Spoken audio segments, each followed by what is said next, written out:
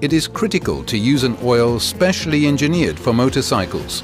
For optimal performance and complete circulation, a dedicated motorcycle oil is a must.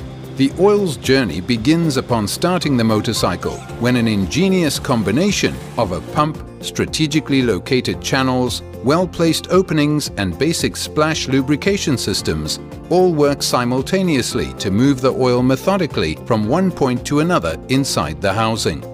The oil pump is the heart of the system, drawing the lubricant up from the sump at the base of the housing and delivering it to the engine Subjected to extreme operating temperatures, the engine requires an oil that can absorb and carry away the extreme heat generated by the components.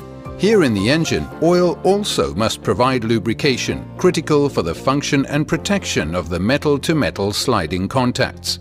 In the clutch, the oil's versatility is tested even more.